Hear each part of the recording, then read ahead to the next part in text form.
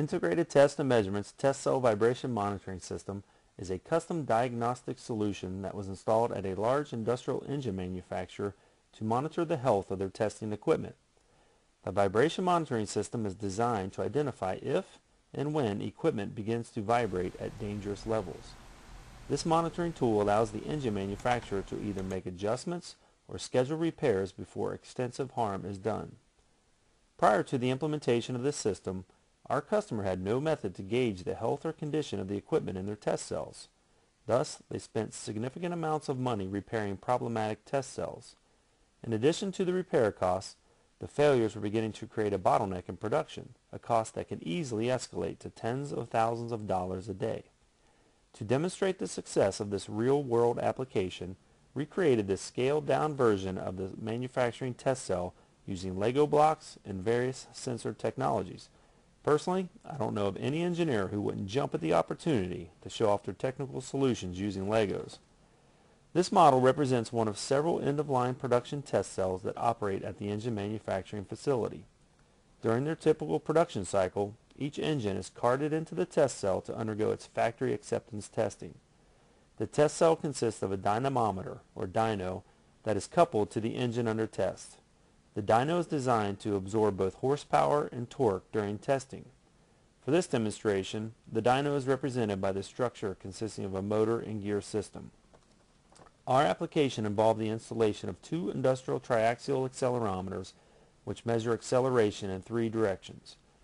One triaxial accelerometer is affixed to the engagement pedestal which holds the engine and another is affixed to the dynamometer itself.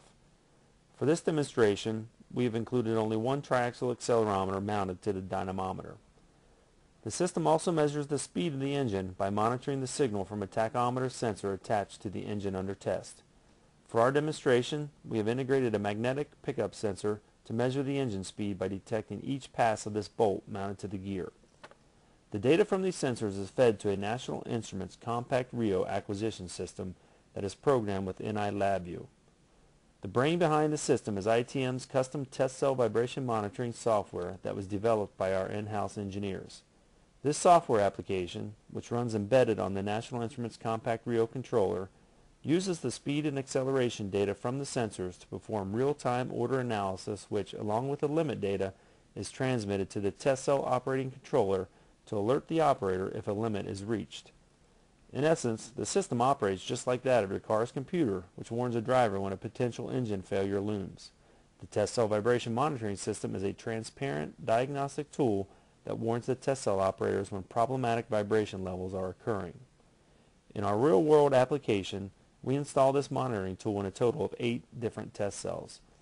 The data collected from the eight test cells was sent to a single central data server via Ethernet IP protocol. The data is archived for additional analysis and metric routines such as productivity analysis as well as health monitoring of the equipment.